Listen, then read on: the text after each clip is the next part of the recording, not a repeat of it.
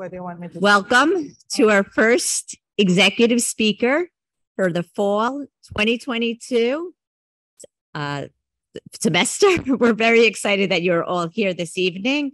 Um, in a moment, I'm going to call up our Dean of the School of Business, Dr. Kimberly Hollister, who will be introducing our featured speaker for this evening. But at this moment, what I'd like to do is talk for about the logistics. Our session will run, the presentation will have a what we'll call our fireside chat, which will run until about 645, at which point, um, if there are any undergraduate students who do need to make a seven o'clock class, we'll give you an opportunity to politely uh, exit the room so you're not late for your class. But we do ask for our MBA students and anyone else in the audience who is not rushed to get to a class to please feel free to hang around and we'll do probably a 15 minute Q&A following that um, exit point. So please wait. You'll see me come up here about 645 after I say a few words at that point. That's when we'll have the people who need to make it to their seven o'clock class have a polite exit. So at this point, let me go ahead and introduce Dr. Kimberly Hollister.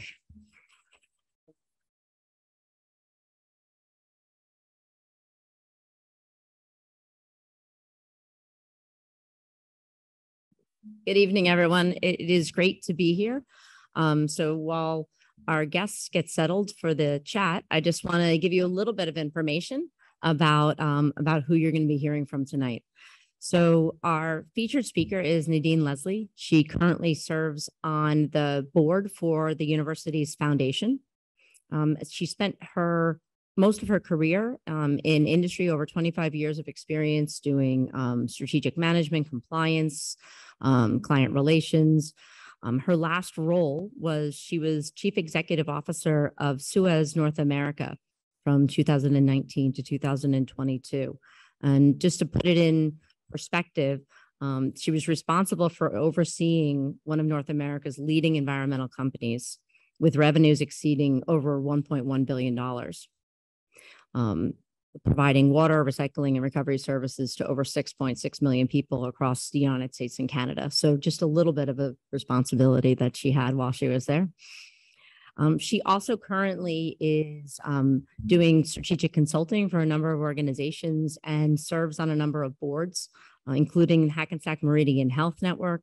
Um, I said our foundation board, um, Provident Financial Services and Provident Bank, and Seven Seas Water Group.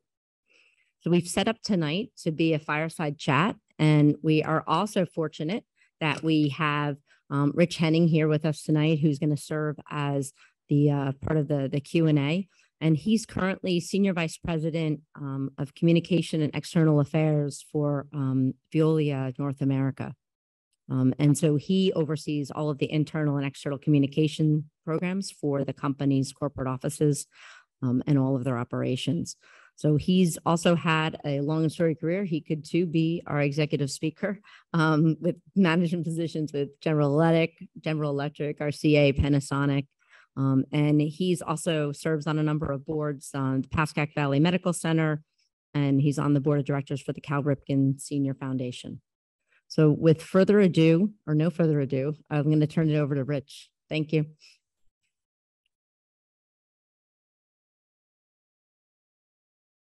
Thank you so much, Kimberly.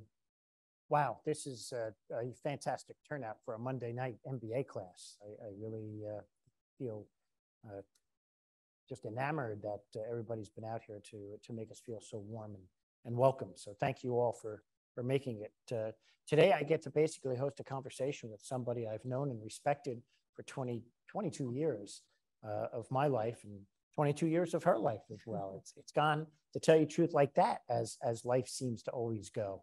You spend your first 18 years wishing you were older, and then afterwards you wish you were younger. So, you know, I'd love to, we've sat in your seats before.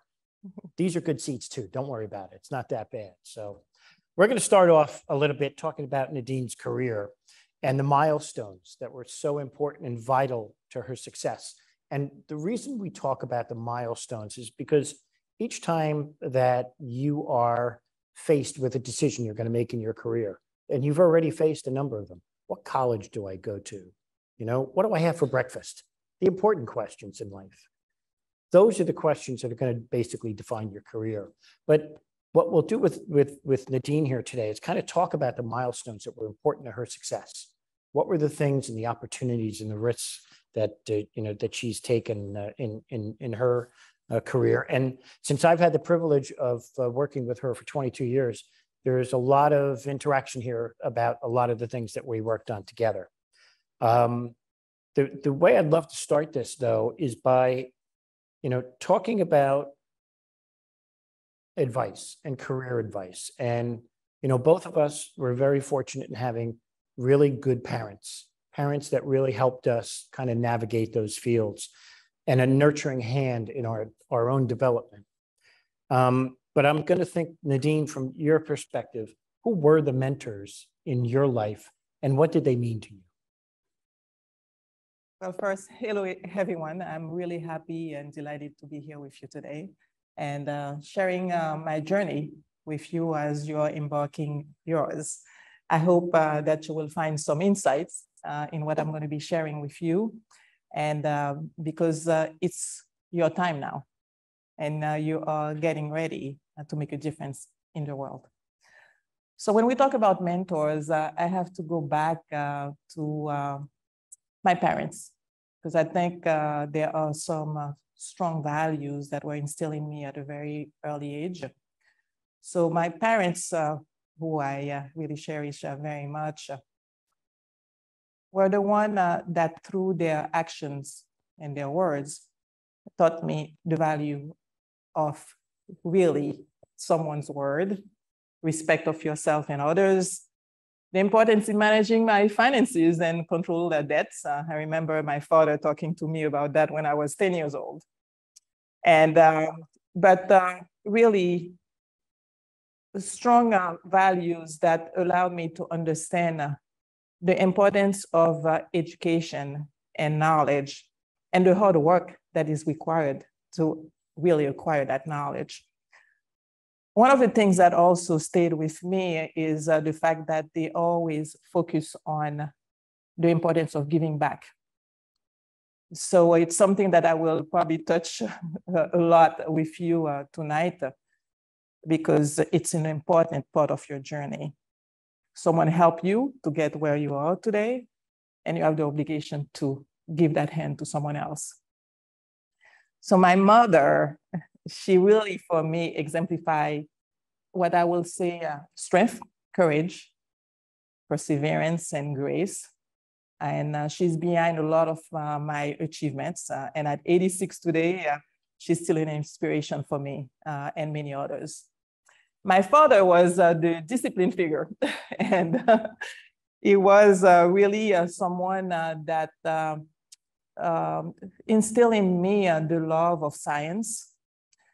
He really encouraged me to be curious about the world, uh, to explore the world, and uh, to pay attention to details, to understand the impact of my actions, and uh, to uh, also uh, aspire to greatness. And um, he, uh, he used to tell me, yes, you're going to work hard. And he used to challenge me a lot during my early schooling years. But he was there with me um, holding my hands, encouraging me, and, and really pushing me through. And I want to talk also about my brother, because I had an older brother, just a year difference. And what I learned with him was uh, to be competitive because I always wanted to do things better than him. and if you have siblings, you know that uh, that's something that always uh, uh happened. But one of the lessons that I, uh, uh, I learned from him was very valuable to me. I was shy when I was young, and I had some doubts about myself. And he really took the time because he was very an excellent uh, speaker, and he, he, took the time to teach me that fear is uh, everywhere and it's present in pretty much everything that we do. But fear is also meant to be conquered. So every time in my life uh, that I was uh, concerned or a little bit uh, afraid to go to the next level, that sentence always come back to my mind. And uh, because often we just put limits to ourselves. So um, later on in life, I would say that, that uh, my, my teachers, my professors, extended family members, a lot of people really contributed to help me have a strong foundation that really was key for me and to in terms of preparing me to face the challenges and opportunity that we'll have um, during my journey. But a significant aspect of my professional life, beside uh, what I learned in the water industry from experts, from my peers, colleagues, and others, peers like Rich, uh, my former boss that is in the audience, uh, Bob Iacullo. What was really a significant uh, value for me was to have a mentor. And I had several of them during my journey. And uh, the importance of having a, a, mentor is, first of all, you have uh, to choose the right one. But it's someone that will have the experience and wisdom to give you constructive feedbacks, to have tough conversations with you, someone that you trust that you can go to, that have your back and really contribute greatly to the growth uh, of your career. So I cherish my mentors uh, very, very much. I, am still in touch with them. And uh, they are uh, really um, the people that made a difference in my career. And I'm very grateful for the time and interest that they had in helping me grow uh, through the years. In that way, we're both very fortunate to have family members who have been so critical in our lives. Um, as you've grown throughout your career, and we're going to walk walk through some of those steps, have there been even work mentors that have sort of helped you at least, you know, blaze the trail or to move forward within, you know, what you were looking to do and and your success within your career? Yes. So um, I uh, when I go back and I look at uh, the people that influenced me, I would say that um, as a, a young uh, graduated uh, student, I was looking uh, to find some women that would be my role models. And I was looking at women in the water industry. And it was a little bit hard to find uh, at that time uh, a woman in leadership position in, in the environmental and water business. So um, I remembered uh, one person that uh, my father used to use as an example for me when he was talking to me uh, about science. And it's a uh, Polish French uh, uh, chemist and physicist. and her name is Marie Curie. And she was in 1909 um, the first woman that was a professor at the University of Paris. But more importantly, she was a pioneer uh, in uh, many discoveries. So uh, for me, uh, uh, when I look at uh, the challenges that she had to overcome as a woman, when women didn't have a seat in math and science, I always go back and say, well, if she could have done that and overcome so many um, challenges at the, at, the, time that she was living, then I should be able to do it because her and many other women have paved the way uh, for me to achieve really greatness. And uh, I had the obligation in the memory of their work and sacrifice to do my best and to reach my full potential. So for me, uh, those were the, uh, the stories that motivated me. And, and of course, uh, uh, when I look at Rosa Parks, you know, standing for what's right, and to have a fair and equitable world. Um, when you like look at more recently, uh, uh, Michelle Obama uh, or uh, Mother Teresa, you know, and uh, and one woman that I follow very closely because she's also a very strong inspiration for me is Christine Lagarde, which is the president of the European Central Bank. And uh, so today we can find a lot, as, as women, we can find a lot more uh, leaders that uh, we can uh, look up to and uh, to, to be inspired and push ourselves uh, to reach our full potential. And when we talk about full potential, I mean, uh, Kimberly had graciously read off, you know, our, our biographies, but what we don't tend to sometimes put in the biography are the glass ceiling sometimes that can halt somebody's career. And Nadine is the first person in 150 years of our company, 150 years to be the first woman CEO at our company. 150 years.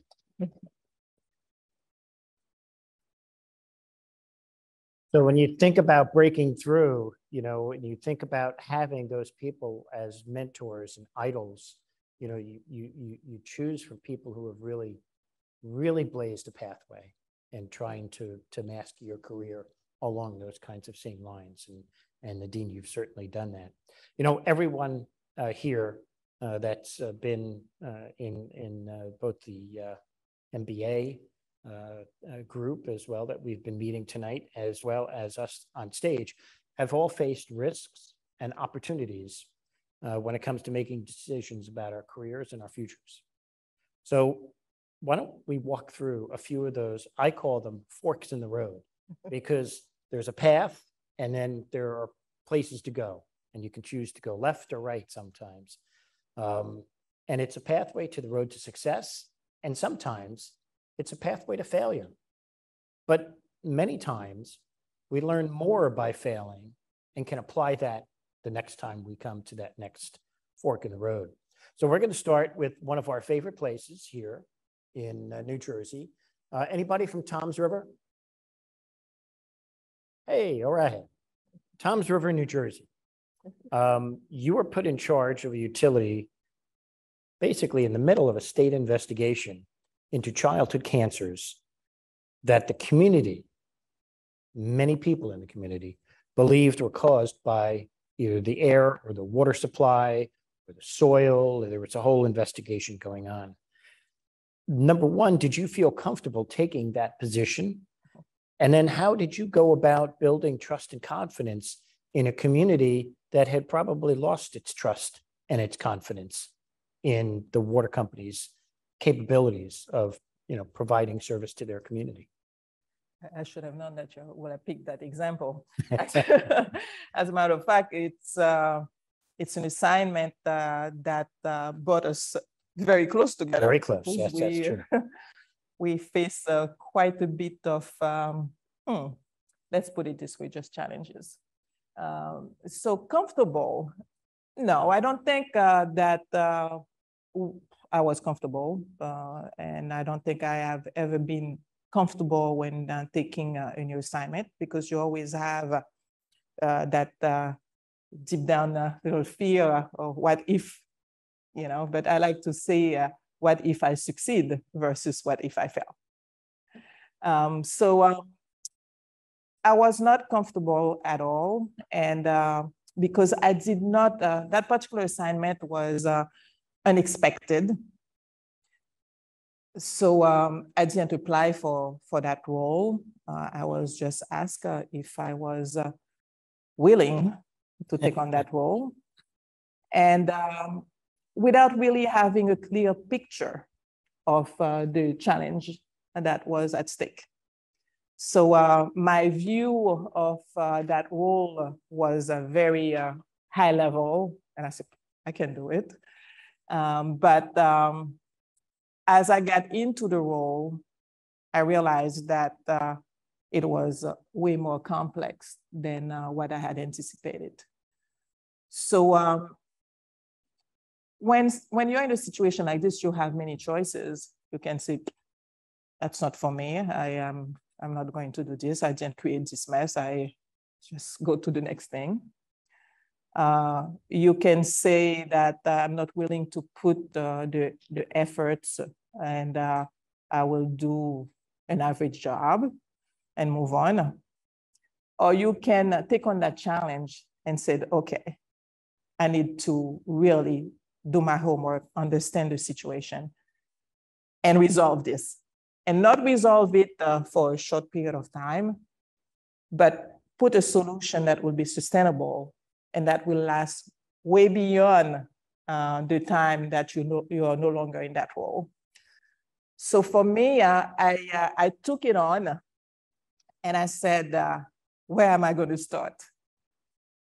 So what I learned uh, during that assignment was the importance of uh, developing a plan, have uh, actions, of course, uh, monitor the actions and uh, ensuring uh, progress so you can really reach your goals. But one of the key aspects on developing that plan for me was to understand the community. So I remember the, the first week I was there, I asked a question. I said, do we have a stakeholder mapping? And it was blank. Uh, I had no answer. So I asked the question again.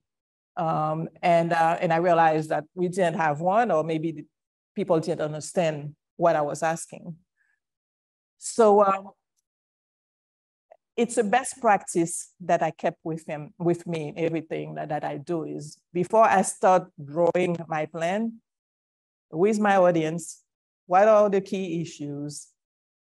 Who are these key stakeholders so I can meet them, understand their pain points, what worked and what didn't work, so I can develop uh, a plan that will work and that will be a continuous improvement plan while changing many other aspects of uh, the culture of uh, that particular organization that I was in charge with. The second thing that I learned while I was in that assignment was uh, you don't have a lot of time when you are in a crisis environment. So you need to be quick, you need uh, to be nimble, uh, you need to surround yourself with competent people, and, uh, and you need to clearly indicate through your behavior and actions that there is a new direction, there is a new leader, and uh, we're going to do things differently. So um, it was a lot of things happening at the same time. So I also learned the importance of having your priorities clear, internal and communicated internally and externally, because we know we cannot do everything at the same time, right? So what are the things that are the most important, the most impactful. Let's make sure that they get done because you can have a plan that you will complete in three years, but some actions you need to take them in the first six months. So um, what I also learned uh, during that time is uh, that uh, often we uh, don't have the results and uh, the productivity that uh, we want uh, from our teams because we don't take the time to understand the talents that we have and putting the people not only at the right place at the, at the, you know at the right time, but uh, with the right talent. So uh, uh, it was an experience that helped me grow as a leader. It was a tough experience um, that required many sacrifices. So it's something that you have to be very clear on when you take a um, role of uh, increased responsibilities. Uh, I miss uh, many events, uh, uh, many family events. Uh, I miss, I remember one time I was having people over for a barbecue at my place. My phone rang. I had to go back to Toms River and it was a Saturday. But these are things that you do uh, and uh, once you accept to take on that assignment, you just embrace it and uh, go with it.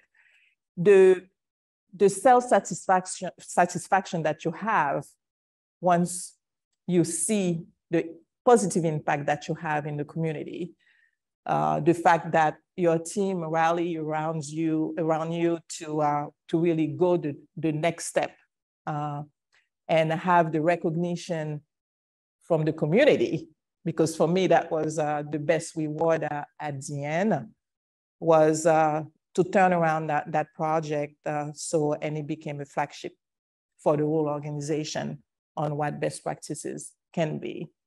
And uh, this happened, uh, um, what, 15 years ago? and 10 years, 15 years? and so and uh, the legacy uh, remains and uh, some of the best practices that were put in that time mm-hmm. you know continue on so so for me it was a success story but I had to be out of my comfort zone. So I could have chosen to continue. Uh, I was a high performer. I would have continued to, to be in Rahway and be the operation manager in Rahway for a long period of time. I was very comfortable there.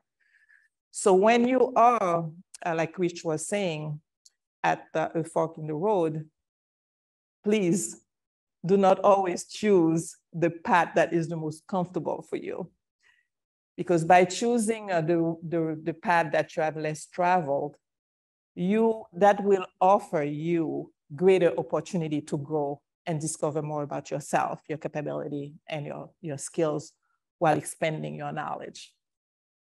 And when she talks about not being comfortable, can you imagine yourself in a community where the entire community has basically sued to take back the very franchise that, and that they actually never had it, but they sued to try to take the water utility that she was going to go down and run.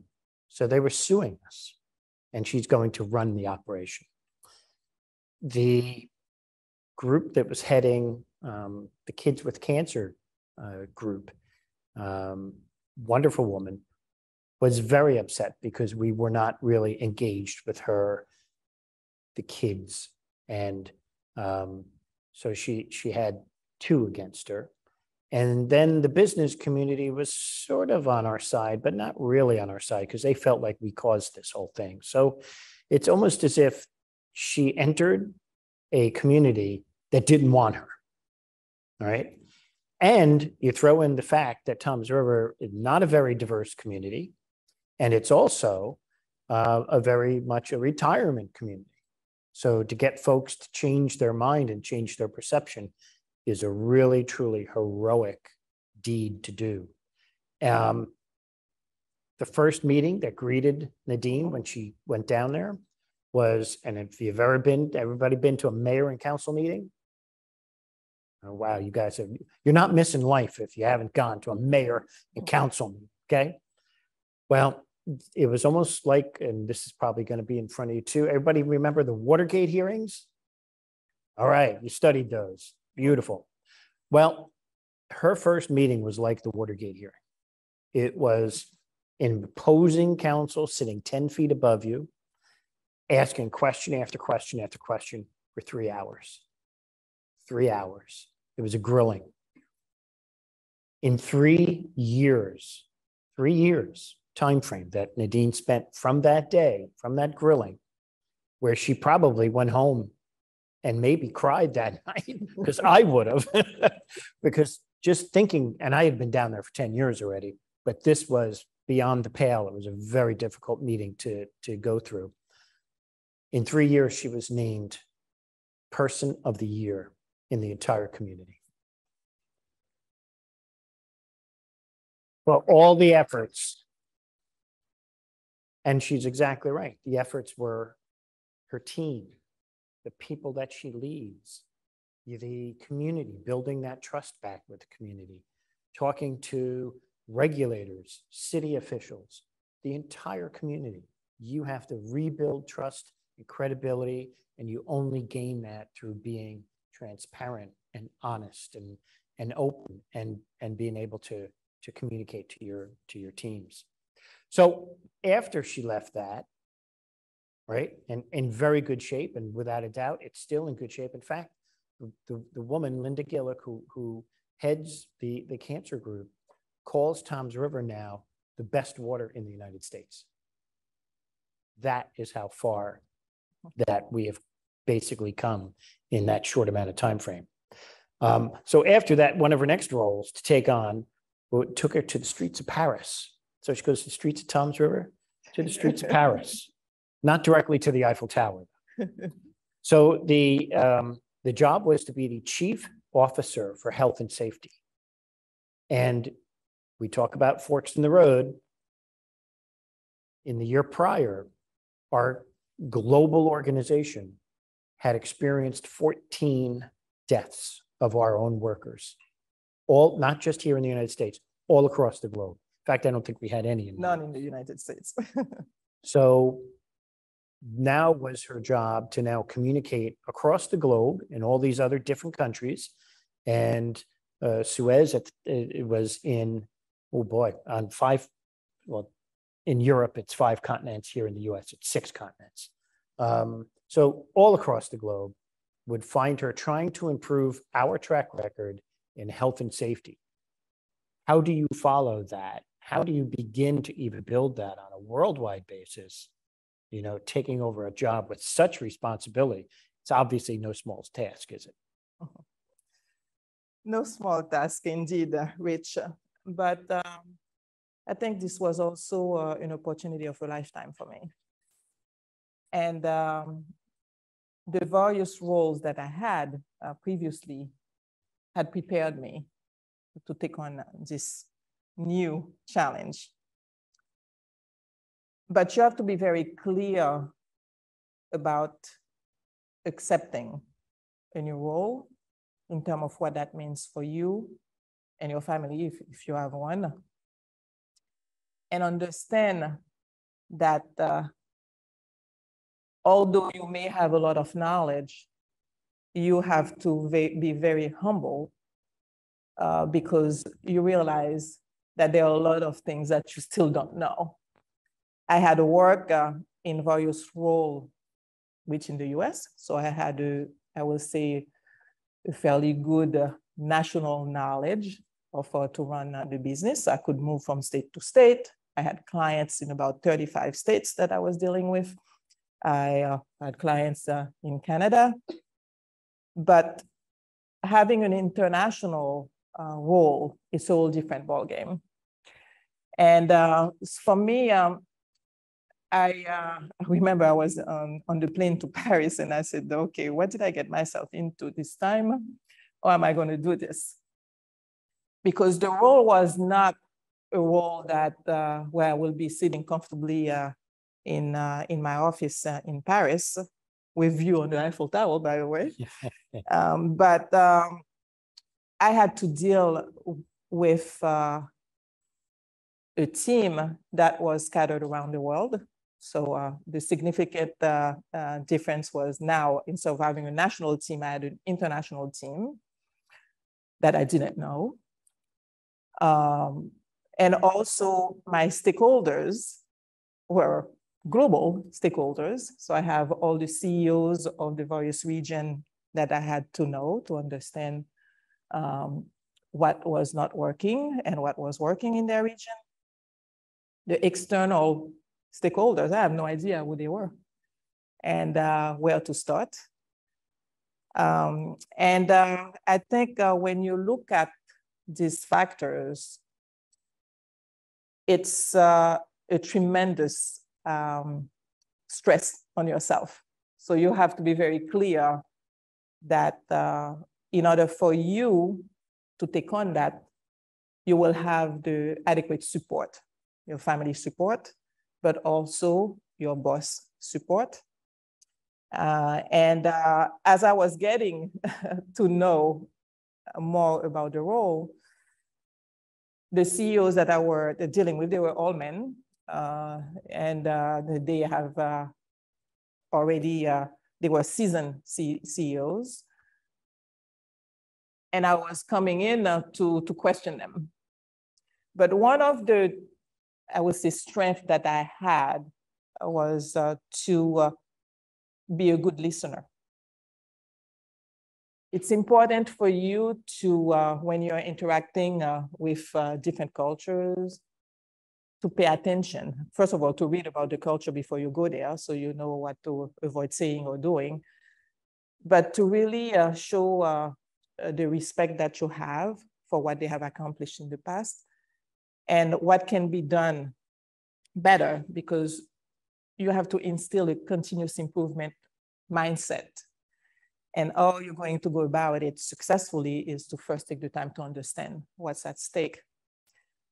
So um, the third element that was uh, challenging for me, I mean, uh, going to visit a country and living and working in, a, in that country is a very different experience.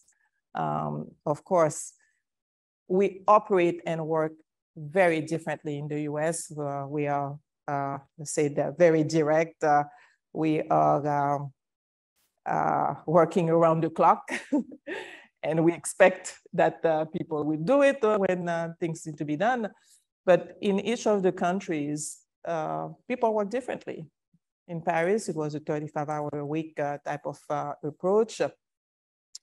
and don't call me during the weekend. So you have to understand all these elements in order for you to be effective at your job. So it was for me an, uh, an extraordinary um, part of my journey where I learned a lot about myself, uh, about the business, and also the similarities that we have despite the differences uh, of our cultures, because we were all working towards a common goal. And the one reason why I was selected for that role is because I had a perfect score on health and safety in all the assignment that I had, um, you know, during my, my, career at the company. And, uh, and they, someone looked at it and said, there's something she must be doing right. so maybe there are some best practices that could be shared, you know, around the globe. And um, that will impact positively the culture and therefore the results. So uh, I was there for about uh, three years. And uh, we started uh, by having uh, uh, close to 20 fatalities of employees or contractors working on site. Um, and um, when I left three years, the first year um, after I, I started, uh, the numbers were diminished by half. And I say, oh, wow, okay, it's, it's good, but we should, every person that uh, is uh, severely injured or lose their life, it's one too many. So uh, we need to, to continue that improvement. But to go back to what I was telling you and sharing with you uh, with Toms River, what's important is not putting a temporary band-aid or a temporary solution. It's how do we change the culture. So now there is a new way of doing business and put health and safety and security as an integral part of all the decision-making processes. So um, it was hard work. It was very tough at time because I had to review every single incident that uh, led to a fatality. Uh, so it was uh, some very, very difficult days. Uh, but um, everything that I learned before helped me, you know, having a disciplined approach, a structural way of uh, conducting business, an effective way uh, to communicate and lead, and uh, really uh, engage everyone. So, I mean, we're talking about 90,000 employees um, around a common goal, which was safety always. Always have safety in your mind and watch yourself, but watch also each other. And um, so when I came back to the US, uh, yeah, I continued to follow because I had prepared uh, the one person that I had identified as my potential successor. And that's another aspect that you always have to keep in mind. When you work for an organization, in order for you to go to the next level, you better share your knowledge and prepare someone else to succeed you because you can be very good at what you do. If there is no one to really take on that responsibility, they will ask you to stay a little bit longer in that role, even if you may not want it. So that's an important part of uh, what you will be doing uh, uh, in the future. So I was delighted to see that uh, the person I recommended uh, uh, took on the job and the improvement continued uh, to the point that uh, we reached zero uh, fatalities last year. So you, you really have to, to look at the big picture, put your priorities, don't get discouraged because you will have setbacks because every time it was a phone call that told me something happened in Australia, something happened in China, something happened in the Middle East or wherever that was happening, uh, it was always it could have been avoided. And uh, those were very difficult moment, but also very, um, a, a lot of opportunities to learn and do things better moving forward. So, but I didn't know what I didn't know uh, during that uh, while I was working in Paris. I didn't know what was going to be next for me because I had made it clear that I didn't want to stay in Paris uh, for a long time. Uh, uh, I'd say three to four years. And I had accepted that role because it was at the right time in my personal life. My son was in college. I only have one, one child. My husband was uh, semi-retired, and uh, so he could travel with me. But if they had asked me uh, to take on that role five years prior, I would have to say no. So you have to know when it's the right time for you and do not overcommit uh, because uh, you will not be successful if you have a lot of other factors that prevent you to reach your full potential. So we, we only have about uh, two or three minutes left, and then we're going to open up to the audience. If if you look at and and we know what the next step was was when you became CEO, um, and I certainly know that everybody in this room, because we're still dealing with it, had to deal with COVID nineteen. But you stepped in, became CEO, and COVID nineteen was on your doorstep in about uh, four months.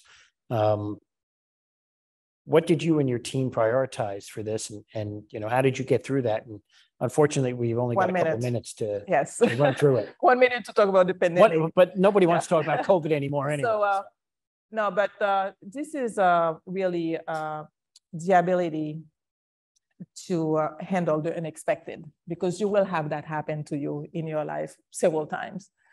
So you can anticipate, you can be prepared for the unexpected, but it's always something that will happen that you could not have thought of. We had playbook for many crises. We didn't have a playbook for the pandemic. So we had to react very quickly, put in place new priorities. So pivot, pivot completely uh, our way of conducting business to ensure the health and safety of our employees, the health and safety of the community that we serve, to ensure that water was provided 24 seven, and uh, to ensure that business sustainability, that we will navigate through that crisis and come out even stronger as an organization. And that's what we have been able to achieve successfully. and you, you think about that and you, you you know there were so many and you know that as well. There's so many unknowns with covid. There still are. But you know in our case we had people who were working in close facilities running water plants distributing water out to millions of people or or taking care of wastewater services. And that service could not be stopped it's not like you could just go run it from home you had to show up you had to be in that office and then we had to come up with policies and procedures that ensured that they were safe. Yes, and uh, communicate, communicate, communicate. When you're in crisis, it's extremely important. I was doing uh, videos uh, with, uh, and my son was uh, taping uh, the videos the first uh, few weeks in March because we were not going to the office and uh, sending them through, coordinating with Rich to have this communication uh, to all the employees uh, to keep them informed on uh, what to do, what to avoid doing, or we're doing as a company, and uh, tracking uh, uh, the progress and ensuring that everybody was uh, kept uh, safe. And I'm very pleased to say that zero employee was uh, really uh, contaminated at the workplace. So we were able to put the barriers and control that work uh, during a very uncertain time. And for me, the best part was that Nadine's husband and son became a production team. Right? They learned how to use the camera, work with audio. They did everything we needed them to do to film her at home, to shoot those videos every week. So it was wonderful. And they're still waiting for their paycheck, believe me. I guess uh, if we'd like to, Susan, uh, open it up to, uh, to, to this absolutely fantastic audience. I, I applaud all of you. You did, guys, you're just fantastic.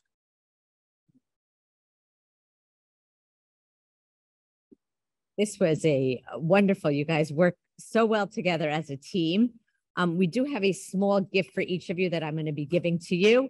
Um, as you can see, there are some of our undergraduate students who are politely exiting the room, but we are going to continue with some Q and A. There'll be some microphones that we're going to be walking around with. So please stay put um, for our MBA students and um, we'll be able to have like a little bit more intimate of a conversation here. So Again, thank you. Excellent.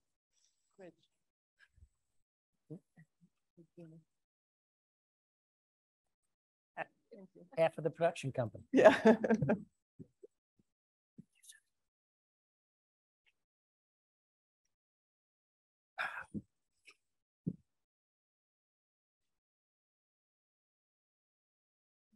you do have a question, please go ahead and just raise your hands. And again, we'll come around with a microphone and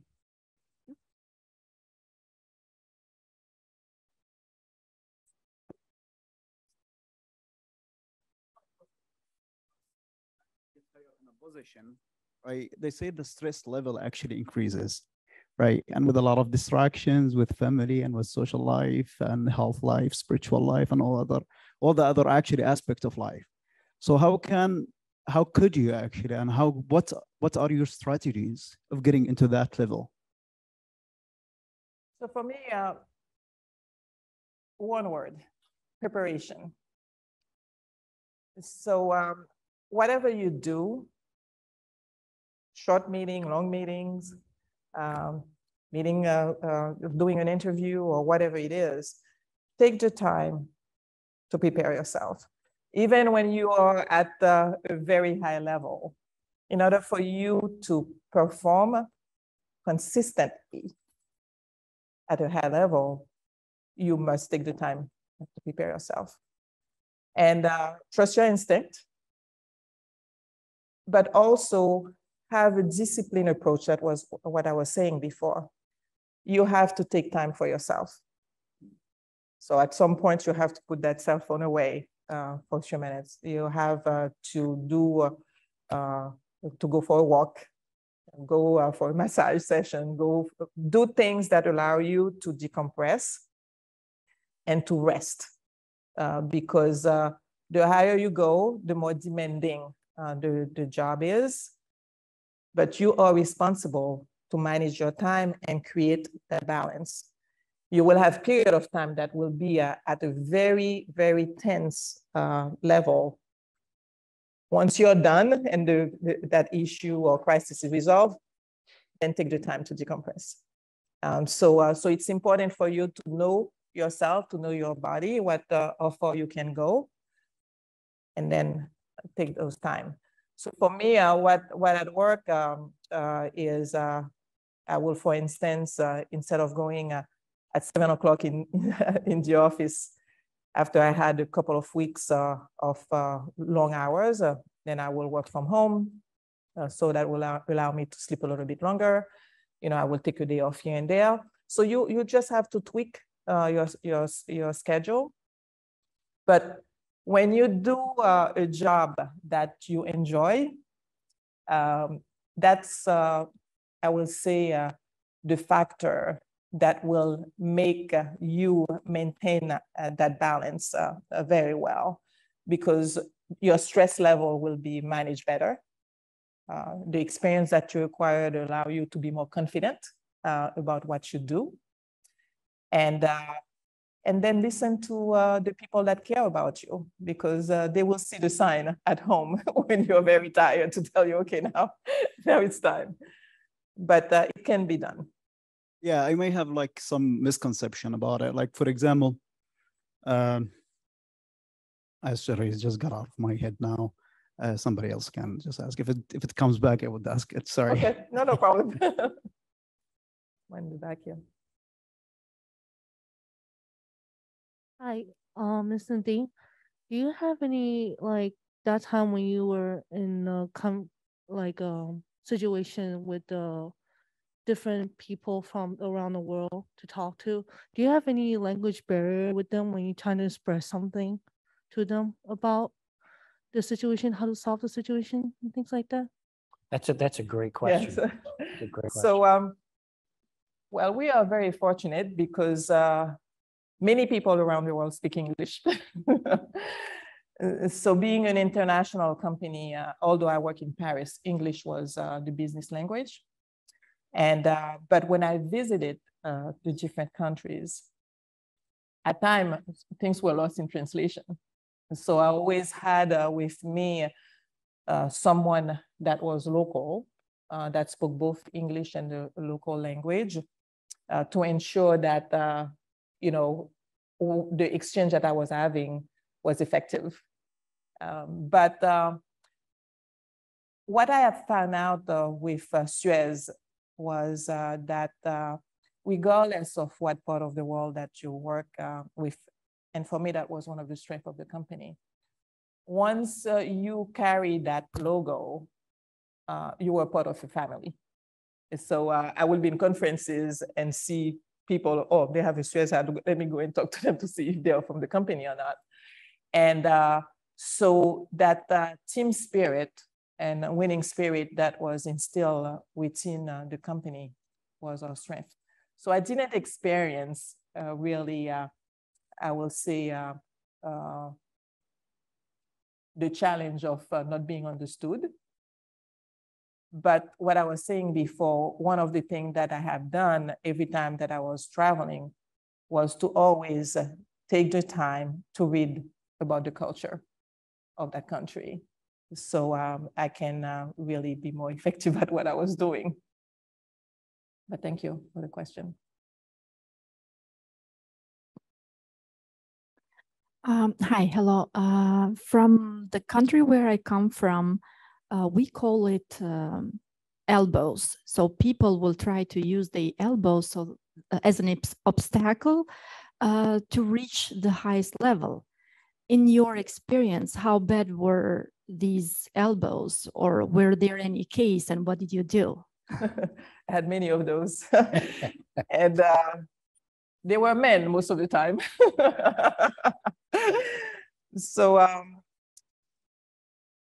well, I think uh, that uh, what you have to do is always focus on uh, improving your knowledge and uh, learn to be in your full potential and not be afraid to be visible. When I say that is you have to be not only present, but visible. So when you're in a meeting, you have to ensure that you speak up, that uh, you speak your views, that you don't let self, yourself be intimidated by others because you think they have more experience or, or, or whatever. Um, but be prepared. So that means that uh, one thing that we cannot fake is knowledge, right? And it's the worst thing that you can do is trying to project what, uh, what you're not, uh, because it will catch up with you quite quickly. Um, I always uh, say that people can fool us uh, during an interview but uh, you put them uh, uh, in front of a problem to be resolved and you will know quickly if they know that subject or not. So um, stand up for yourself, uh, be always uh, prepared and seize the opportunity. I often tell um, uh, my team or my some of the mentees that I have, it's important for you to know your, your boss's job and be ready to step up because that boss will be sick, will be not available, uh, and uh, you may have uh, to represent uh, him or her at any given time. So don't take the back seat, take the front seat. Um, and uh, when they push the elbows, guess what? Consider that being a push forward and um, so and move on uh, to uh, uh to to you uh, to your next uh, level, and don't let that distract you because I think um, for us women in particular, I was looking at some statistics in the Fortune 500 companies, and I saw that it's about 41, 45 women that are CEOs. So you can see that we have a long way to go. It's less than 10% but when we look at the US in, in general, uh, women in leadership position, we had made some good progress because we are more uh, in the 30% range now. So which is promising that we will have a lot more women CEOs in, in the next decade. So um, be confident, be yourself, uh, and be assertive at time, and have a voice. So that would be uh, my recommendation.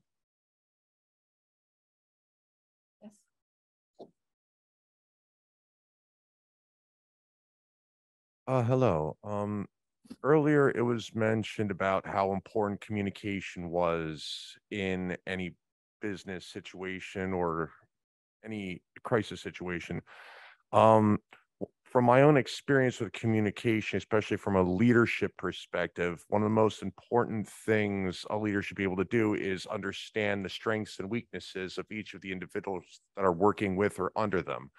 I was wondering if maybe in your own experience, you may have discovered or developed a few tricks on how to, as quickly as possible, understand the strengths and weaknesses of the people working with you so you could delegate appropriately.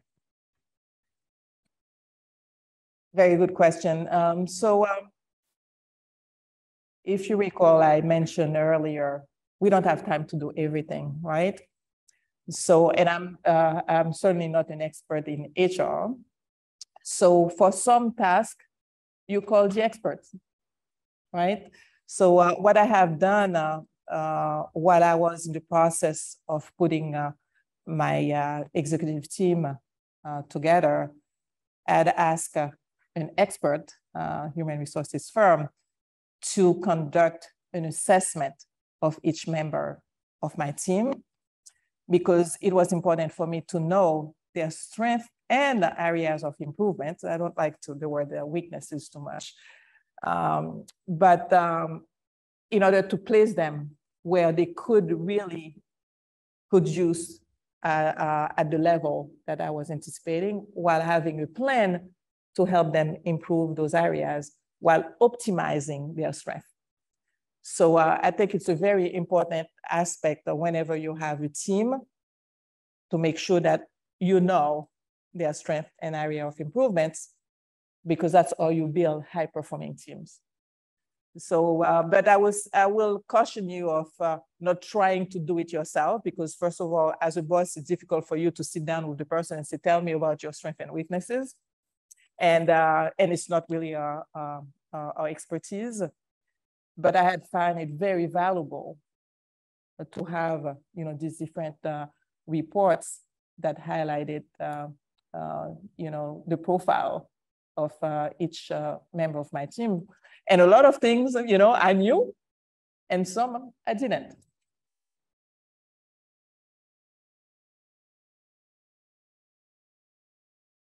Hi, uh, this is more of a question about your organization.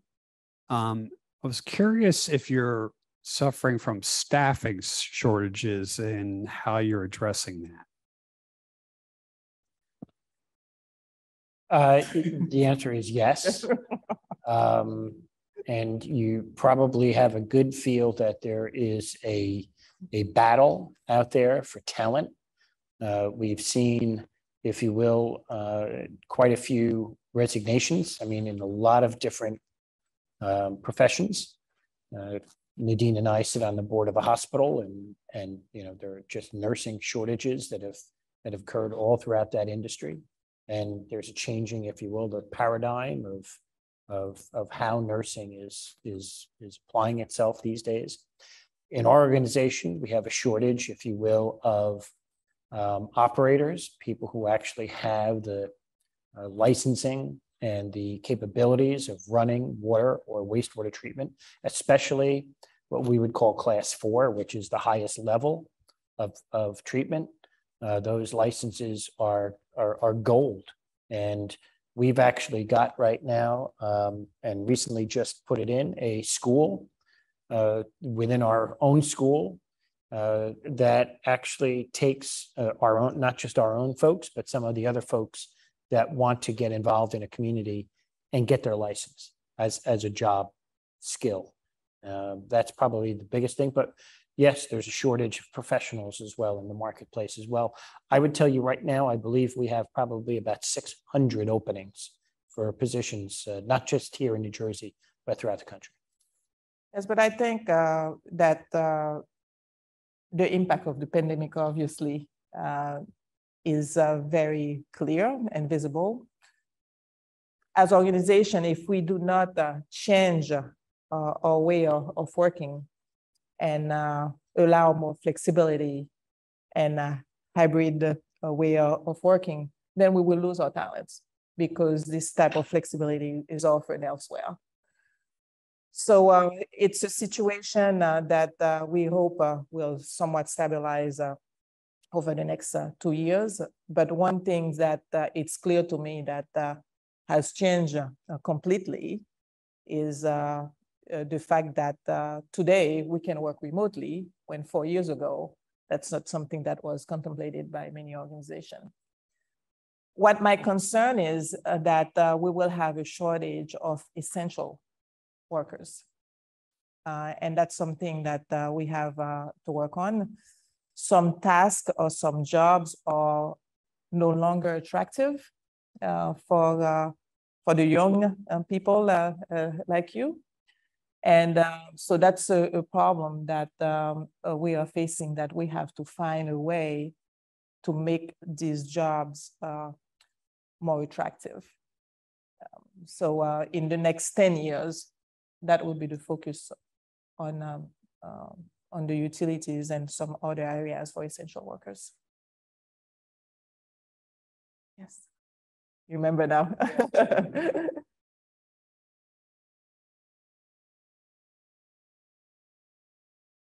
So as a student, as, as MBA student or business analytics student, I would love to hear like not from the first position, which is like great achievement, right? But from our station as a students, right? What's the step that we should take? Because actually, you know, maybe I'm, I was exposed when I finished my bachelor in business administration that going to MBA or taking business administration is so broad. So you have to be specialized somehow in strategic management, HR management, whatever management, to be able to get to the CEO basically, or to get to the soft skills or the hard skills. This is the, this is the other question, if I can ask, which is which is better to have hard skills or soft skills more to get to that position of basically giving a lot of decisions with precision. Thank you. We'll start uh, by the second part. You need both. you need to have hard and soft skills. Um, what uh, but the soft skills uh, are essential when you're in a management position. And so uh, if you are going to be a researcher, a loner in, uh, you know, just uh, master the hard skills, that may be sufficient. But once you interact with people uh, and uh, have some type of supervisory or management role, then you definitely need to have soft skills. So um, what to do and uh, where to go. One of the things that uh, you all have uh, to realize is you are all very fortunate because you have a higher education. And uh, by making that decision, you have positioned yourself to a vast um, number of opportunities. You will be at the fork in the road that Rich was mentioning. And it's a good place to be because you have options. But once you make a decision, you will have to also have uh, the courage to explore, as I said before, uh, the road less traveled, you know, go outside of your comfort zone. But what's important is to realize what works for you and what doesn't. I often say to uh, my uh, uh, my uh, friends' kids that I uh, sometimes uh, sponsor for different activities, you have to know where to stick with your your goals, to stick with the company, but you also have to know when to walk away. So if you work for an organization that doesn't recognize your talent or is not a right culture fit for you, walk away, start to look for something else because you will never have the opportunity to grow and you will know. So um, uh, it's, it's a decision that no one can really take for you. Uh, you have uh, to trust that you have acquired the knowledge that will allow you to flourish. And uh, one of the things that I will recommend uh, to you all, if you don't have one yet, is really to have a mentor. Because for me, that's what really made a big difference when I was in some of these decision making um, uh, uh, roles and uh, decision making uh, um, uh, point in my career, then you need to bounce sometimes uh, your, your ideas with someone that has your back. You're welcome. We have time for one last question. Hello, uh, thank you for thank you for being here. Um, my question is when you're managing teams and whether that's outsourcing or whether that's within your company, um, and you have multiple deadlines, how do you manage to create a balance between giving them like enough support um, but also like um, disciplining them enough so that they can deliver within time. And there are certain tasks which require innovation and um, thinking outside the box, and which is understandable that it might not be easy, but still you have to meet those deadlines. So, like, how do you like any advice on that? Well, um, when you're the boss, you have to know a lot of things, and you have to know the workload of your team. And uh, you also have uh, to decide what are the order of the priorities. So uh, one of the things that you have to avoid is uh, to overwhelm your team and uh, to do that on a consistent basis because uh, you will burn out. Um, so first, once you have some tight deadline, deadlines, is to understand how many of those do I have? Am I putting this on the same team, on the same people all the time? And uh, or do I shuffle the cards and then now move the priorities? So uh, I think that's uh, the job of uh, any boss uh, to do. And as you're measuring uh, the progress, understand if there are needs for additional support to accelerate and ensure that it's delivered timely with the quality uh, that uh, you expect.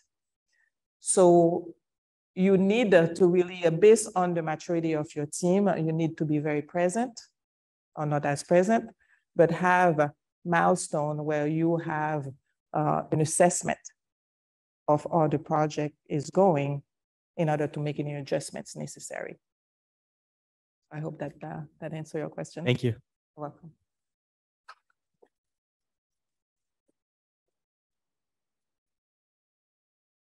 Thank you so much uh, for your questions and your attention. It was really a, an amazing um, evening uh, and a great opportunity for me to interact with you. And I hope uh, that uh, the exchange that we had was helpful. But remember, it is your time. The world needs you. It's your time to shine. It's your time to lead.